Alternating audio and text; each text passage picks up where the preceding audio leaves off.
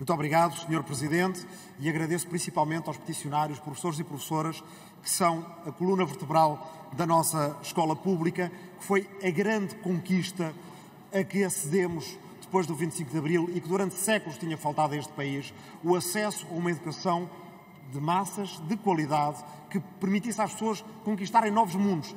E todos nós temos na nossa vida algum professor, alguma professora que nos permitiu ser algo com que antes nem sequer sonhávamos.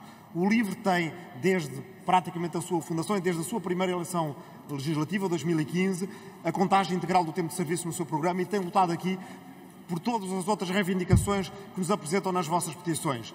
É preciso que todos em Portugal nos consciencializemos disto. Quando falamos da geração mais qualificada de sempre, quem a qualificou foram vocês. Quem a deixou fugir foi quem não teve políticas de emprego e de valorização, inclusive no ensino público, que permitissem que esses jovens aqui ficassem e quem agora não tem políticas que permitam que vocações de ensino possam seguir a carreira do ensino, porque se não a veem respeitada no presente, não quererão segui-la no futuro e isso é uma enorme perda com que todos estaríamos confrontados. Obrigado pela vossa petição e seguimos juntos nessa luta. Muito obrigado.